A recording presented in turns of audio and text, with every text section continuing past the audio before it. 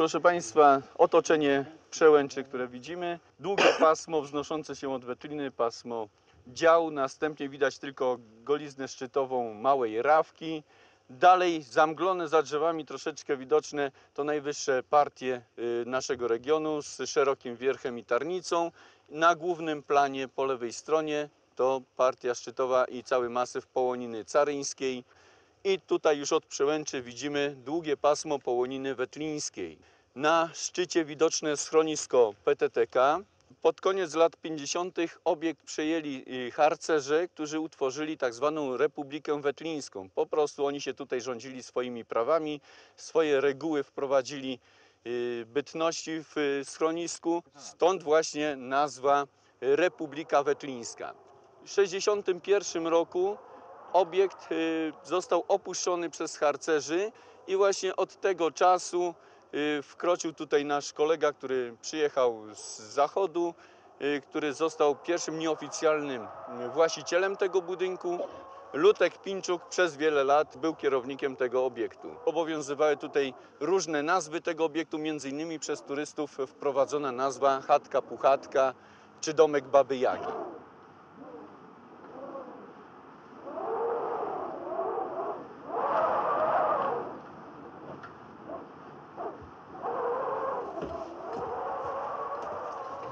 O, dzięki. No, sobie łyżeczkę wezmę tutaj, dobra. Stasiu, No, prucisko tutaj E, siedzi, prut, siad. wiesz? stoi. Siedzi tu Siad. z nami. Pies ratowniczy wspaniały, w ilu on akcjach już brał udział. Słuchaj, Lutek, a który to już rok tutaj w schronisku? Ile on już lat tu spędził? No, w schronisku jest dwie zimy tutaj przeżył. Natomiast na kempingu się wychował. Gubiłem go jako trzymiesięczne y, dziecko go wziąłem. No i tam wychowywał się wśród turystów.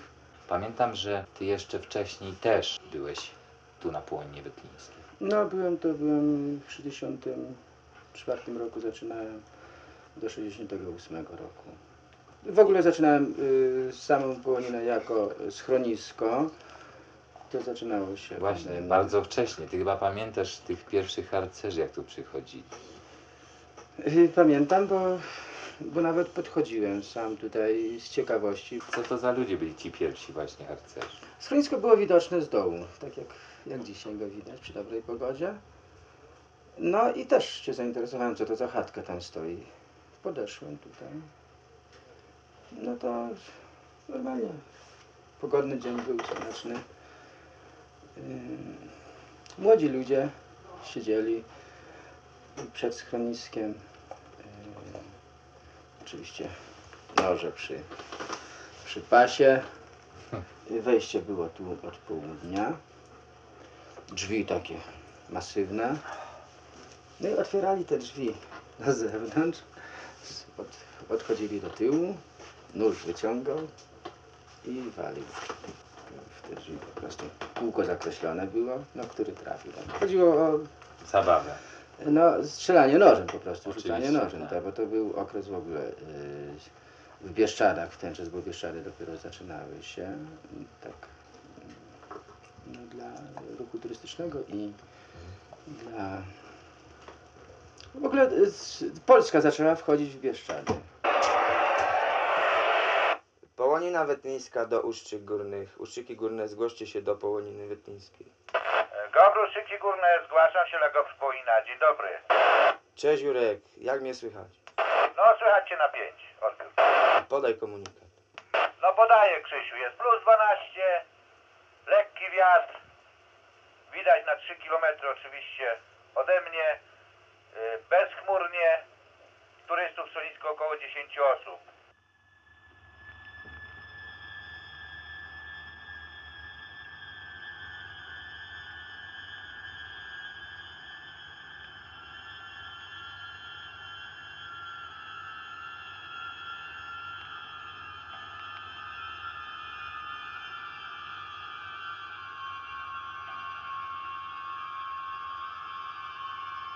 Połonina Wetlińska jest potężnym górskim masywem o sześciu wybijających się szczytach. Najwyższy sięga 1253 metrów, a długość grzbietowa całej połoniny wynosi w linii prostej 4,5 kilometra.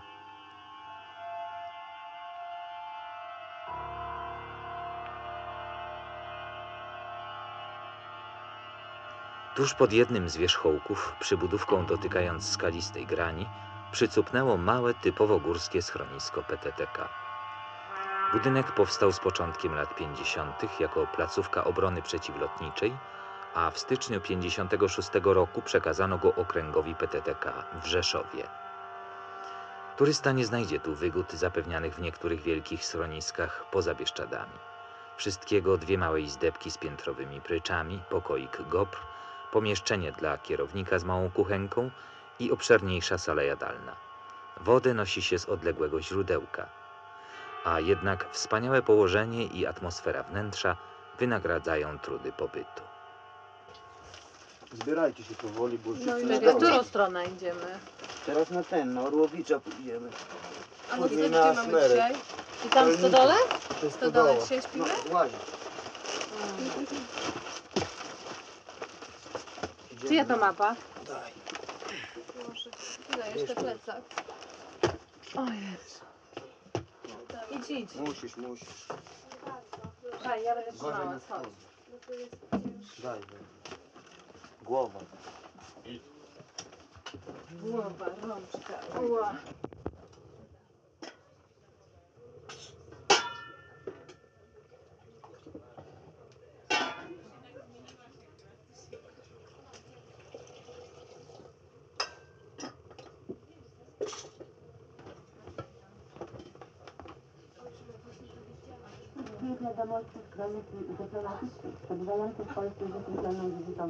Wcześniej pracowałem i zbierałem jagody.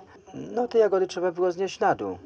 Było ich, no ile się uzbierało, a zbierało się po 30, po 50.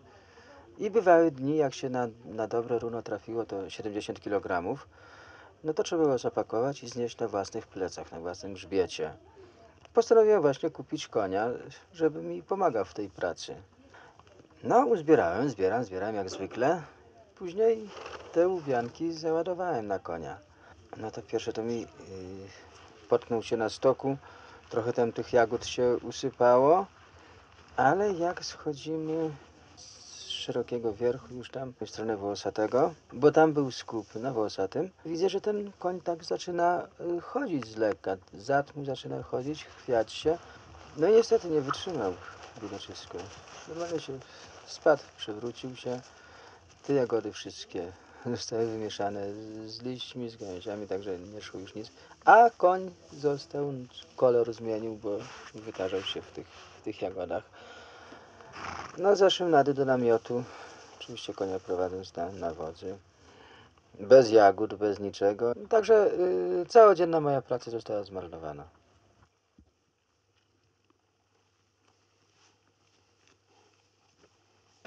Ale radochę mają, nie mogę. To jak, jak, jak szliście? Y, Wczoraj od chaty socjologów do Dwerniczka najpierw zeszliśmy, przez Dwernik, tutaj weszliśmy na grań, Mhm. tędy, przecięliśmy drogę i na Dwernik kamień. Tak, Z Dwernika kamień przez Jawornik, prosto na Na Połoninę. wojnę letnicką do kawał drogi. I teraz was co jeszcze was czeka? Dzisiaj przejście przez całą Połoninę, Przełęcz Orłowicza, Smerek, przez Wysokie Be- Berdo i zajście do Kalnicy.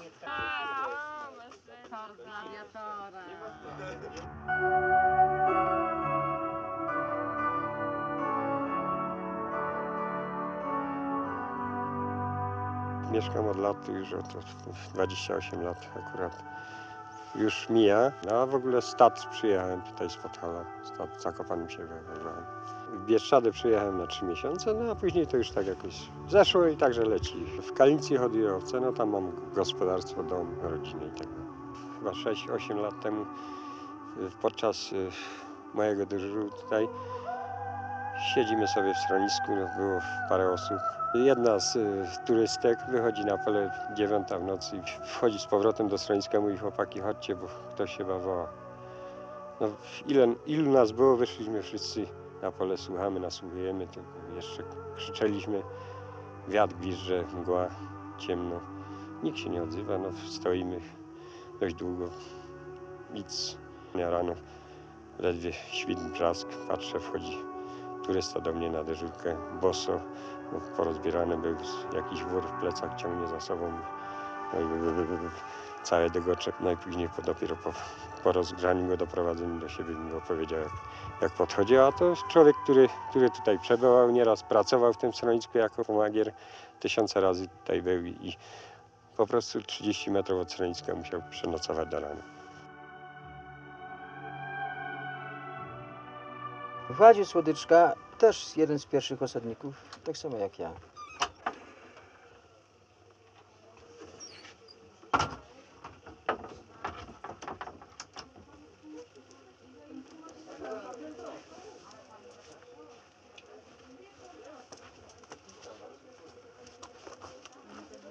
Jestem już tu parę lat y, kierownikiem na Polonie Wetlińskiej. Y, nie mogą się tu niestety obyć bez konia.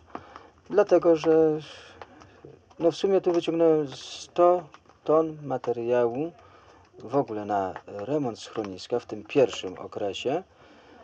I to jednym koniem, gdzie na konia można było załadować? No 100-120 kg. 120 kg zarzucić na konia też trzeba było mieć trochę yy, w sobie siły, ale pomagałem sobie normalnie, wbijałem pala, yy, dwa wory piachu nasypałem, rzucałem na siebie na grzbiet. y, Jeden wór do tyłu przerzucałem na plecy. Później ten y, wór z przodu łapałem, podnosiłem do góry. Koń już był tak, y, tak umiał się ustawić, że pchał się po prostu, kład, składał się na mnie. Ja w ten czas ten wór podnosiłem z przodu, rzucałem na konia na grzbiet i to już wystarczyło, żeby na kulbaka się tylko zaczepił i resztę już popychałem ramieniem. No i to zeszło. Jak już zawisło, koń odetchnął, ja też odetchnąłem. I szliśmy w górę.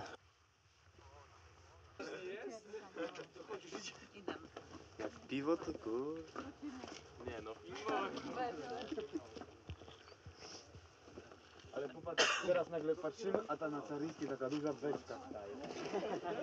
I ja bym nie szedł na smerek. Idę na caryjską, stanowczo.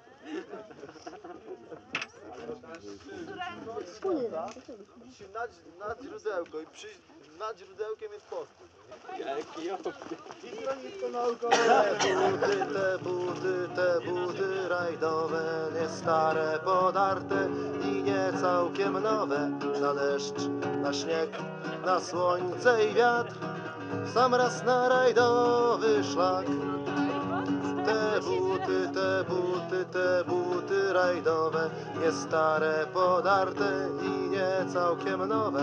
Na deszcz, na śnieg, na słońce i wiatr, sam raz na rajdowy szlak.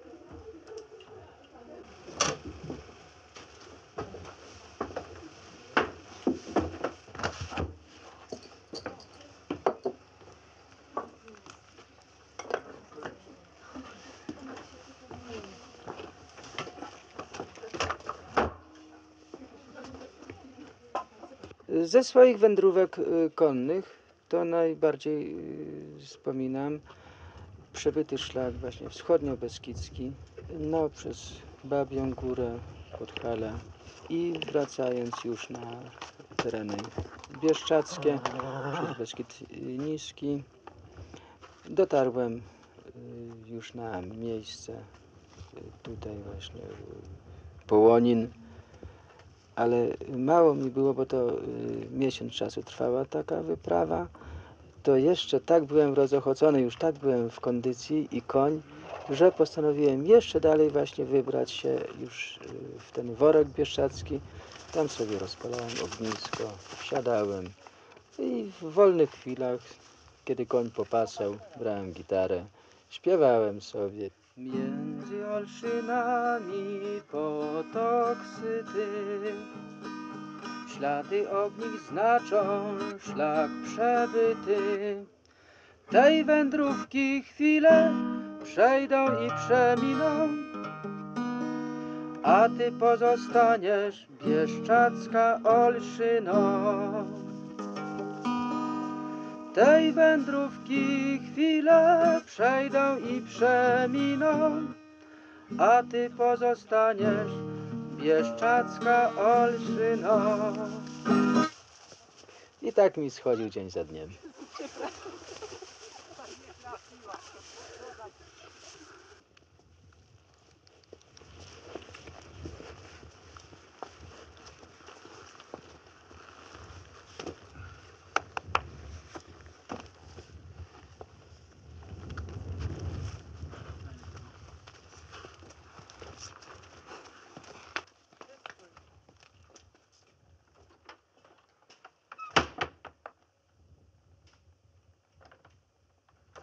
Wszystko przynosi, a tu z czekolady taka, taka papka i zrobiliśmy sobie za to czekoladę taką z mlekiem, takie kakao mocne. A, dobre było. Szóstego roku. Siódmego nawet chyba. Nie, no, Szóstego. Szóstego, to jest staro. Ale jest zupełnie, bo, bo ten kawałek tam są przedstawione, jest, są tory w innym miejscu i, niż są. Może jutro pójdziemy w przedstawieniu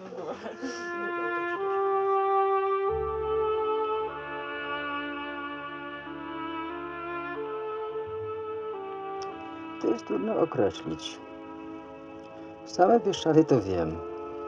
Jest to już yy, no, 25, nawet więcej lat spędzonych tutaj.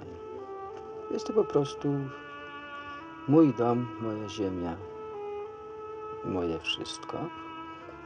Jest coś takiego, że człowiek też w pewnym okresie mm, chce no chcę, chcę coś mieć, chcę coś dokonać.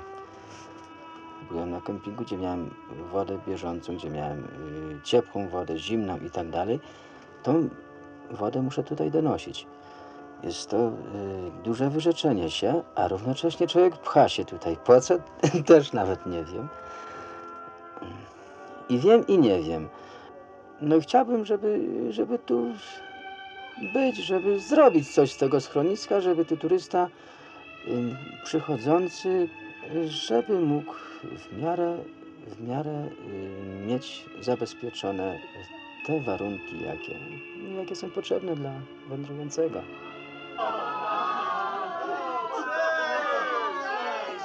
Dajcie, dajcie przejść, prosimy.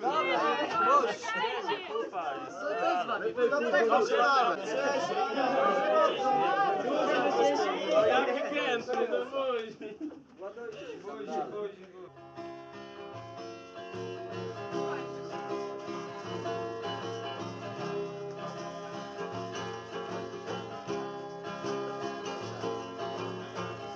Gdy nie zostanie po mnie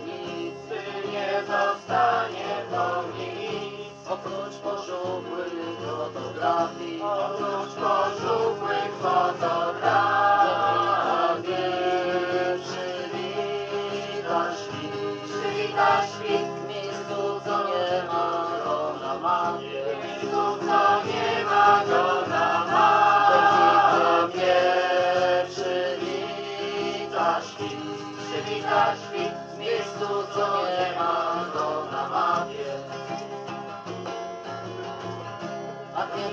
sypnął na mnie krak, a kiedy sypnął na mnie krak, gdy mnie okryją cztery deski, gdy mnie okryją